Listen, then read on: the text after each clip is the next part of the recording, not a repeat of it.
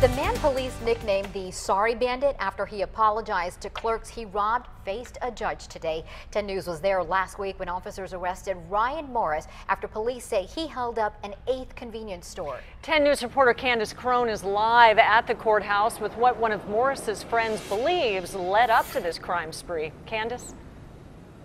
Well, Morris stood silently in court today. Prosecutors say that the suspect got away with about $1,600 from the robberies. Well, tonight, one of Morris's friends says that she was shocked after learning the man in the surveillance video was someone she knew.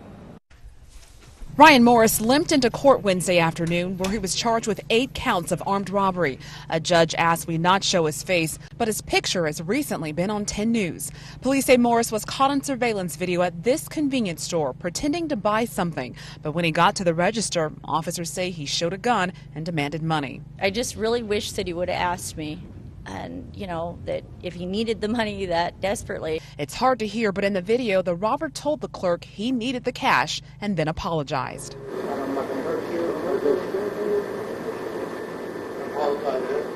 He went in with a loaded 380 semi-automatic handgun uh, told the clerks he was sorry, he was having tough times, but he still robbed them and terrorized them. A 10 News crew was there when police arrested Morris two days after they say he robbed eight convenience stores near the 15 and 163 freeways.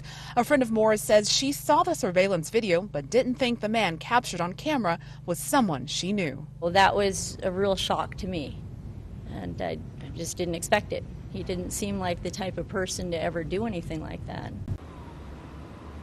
Now, if convicted, Morris faces up to 45 years in prison because he used a real gun to commit the robberies. He'll be back in court next week. We're live downtown tonight. Candace Crone, 10 News.